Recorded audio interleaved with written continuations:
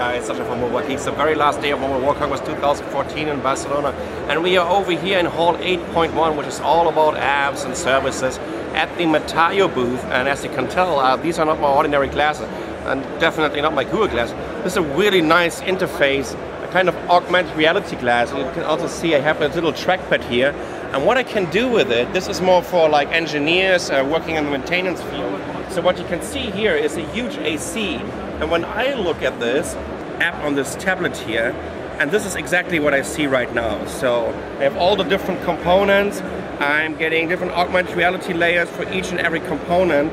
And this will help an engineer if he has a problem with an air conditioner, or if he has a problem with a car or whatever, to help to fix it and to connect to a knowledge database immediately.